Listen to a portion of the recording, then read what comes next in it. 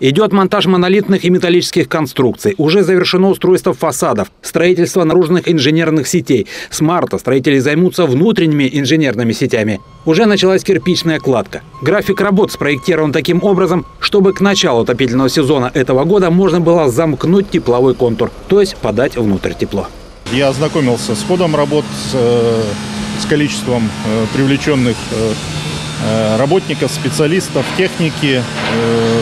В целом я удовлетворен, то есть сделано все, чтобы скорректировать какие-то отставания по видам работ, которые накоплены в прошлом году, и вырваться вперед по тем видам работ, которые можно делать уже сейчас. И, конечно, главный вопрос, который обсуждался в последнее время – как идет финансирование строительства ледовой арены? По этому объекту никаких сомнений нет. Все средства в федеральном бюджете и областном бюджете предусмотрены. Вообще мы, наверное, правильно в этом вопросе рассматривать не только сам Ледовый дворец, а весь комплекс объектов, которые необходимо завершить э, к чемпионату э, мира. И э, мы здесь в, в переговорах с федеральным центром стараемся также находить решение маневрировать.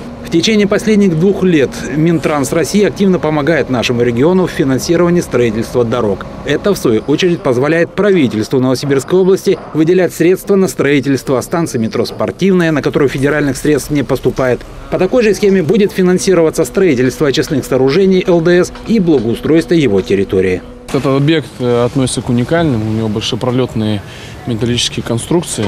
Вот. Э, сам по себе здесь очень много монолитных работ. На сегодняшний день принято порядка 68 тысяч кубов бетона уже.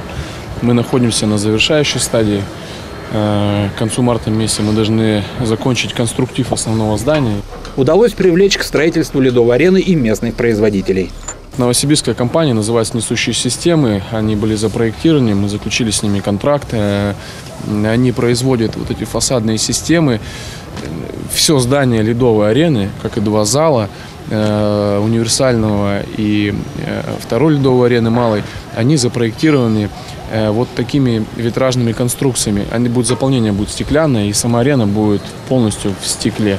Все объекты этой масштабной стройки, которые возводятся при поддержке правительства Новосибирской области, должны быть сданы не только в сроки, а даже раньше. Вот многофункциональная ледовая арена в эксплуатацию намечен на лето 2022 года. К старту молодежного чемпионата по хоккею приурочат и завершение строительства четвертого моста через Обь.